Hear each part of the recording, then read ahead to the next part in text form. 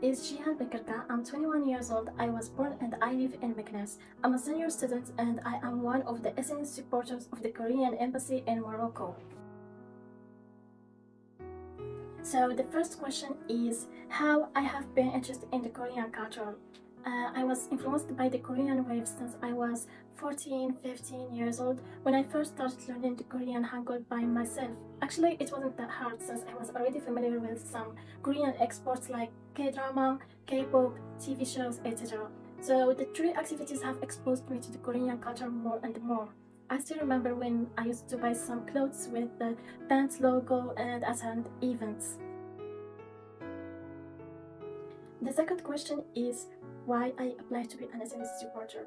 It's a really big question.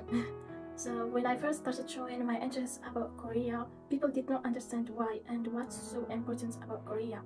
So after being an SNS supporter, I believe that they will understand why I am obsessed. Also, I believe that being an SNS supporter would allow me to learn more and more about Korea and be updated about what's going on there. Also, I believe that being an SNS supporter is the golden bridge for me to pursue my knowledge, broaden my experience, and I am willing to challenge myself with the skills and experience that I have right now. I am curious to see how I can contribute and spread the Korean culture in Morocco and let Moroccan people know more and more about Korea. I am also excited to strengthen the diplomatic ties between the two countries. And I will try all my best to bring the Korean economic development because it's really amazing how they got developed in a very short time.